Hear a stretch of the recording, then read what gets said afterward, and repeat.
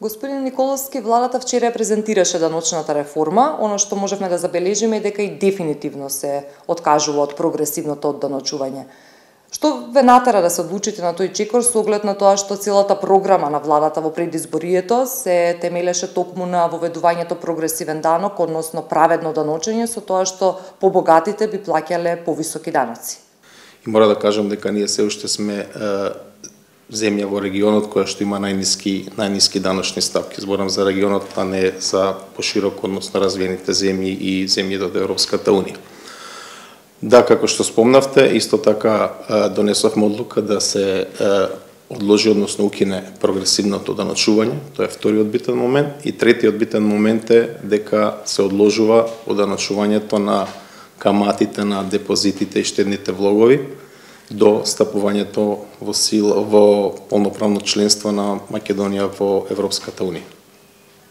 Она што рековте во однос на прогресивното даночување, ние овие неколку месеци отворивме широка дебата, точно дека беше во нашата изборна програма и дека социјалдемократската програма е за прогресивно оданочување. Меѓутоа ние во овие неколку месеци ни става широка јавна дебата со сите релевантни чинители во системот, со експертската јавност, со коморите, со бизнис секторот, со Македонската академија. Ја отворивме како дебата токму бидејќи ова стапуваше на сила овој закон од 1 јануари 2023 година. Кога ги видовме сите коментари, забелешки и понаправените дополнителни анализи, остановивме дека во овој момент не сме не, не, не е спремна ниту економијата, ниту граѓаните, ниту концептот кој што беше, односно моделот на тоа, на тој прогресивно оданачување на тој систем беше добар и ние во иднина ќе работиме на правење подобар, поправилен и поправичен модел на прогресивно оданочување. Целата целиот концепт на на овој нов односно реформа во даночниот систем е се со цел да добиеме да имаме праведност во даночувањето, ефикасен и ефективен даночен систем, транспарентен, и сето тоа крајно да донесе поголем квалитет на услугите и подобар живот за граѓаните. Оно што најмногу ги интересира граѓаните е околу стапките на, на ДДВ. Гледаме дека а, производи како оние за менструална хигиена ќе имаат помал данок од 18 се намалуваат на 5%, но така наречената луксузна храна се зголемува од 5 на 10% кои точно производи ќе се даночат со повисоки или, или пониски стапки? Дали само храната ќе биде опфатена со повластена стапка од 5%? Овој концепт на даночни реформи се одвиваше во две насоки.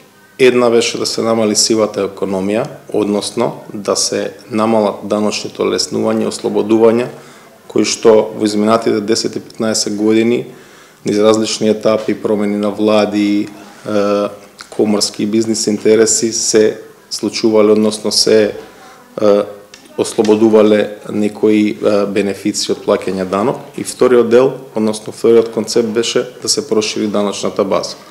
Токму онавие што што го кажавте вчера исто се донесе одлука за намалување на производите за за менструална хигиена кои што ги користи женската популација и тие ќе паднат од 18 на 5%. Меѓутоа, има одреден дел производи, како што кажав, посебно во делот на прехрамбената индустрија, кои со текот на времето, сите, голем дел од нив, таму има над 200-300 производи, кои што се све свеле на повластена стапка даночна од 5%. Ние, знаете, имаме ДДВ од 18%, и нормално во одредени периоди кога имало кризни години кога требало да се реагира и да се помогне и за граѓаните и за некои бизнис е, сектори повластената стапка односно на одредени производи се вовела и таа изнесувала 5%, меѓутоа се злоупотребувало тој се користело и за разни други работи. и ние имаме така? да, и ние имаме а, најмногу производи од регионот со повластена стапка од 5%.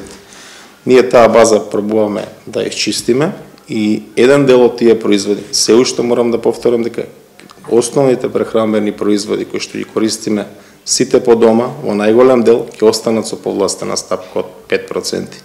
Но ќе има дел од производи кои што, да кажам, не се употребуваат секој ден или е, многу мал дел од населението оние со повисок стандард ги користат, тие ќе се доведат на ниво од стапка од ДДВ од 10%, па ќе биде повластен, значи нема да оди на 18%, меѓутоа ќе биде на 10% и тука влегуваат исто прехранбени производи, меѓутоа како што кажав, одредена лепеза на производи од типот на тартуфи, млеко од овес, млеко од кокос, путер од кикирики, разни семиња, чија, киноа, разни зачини, шафрани и така натаму.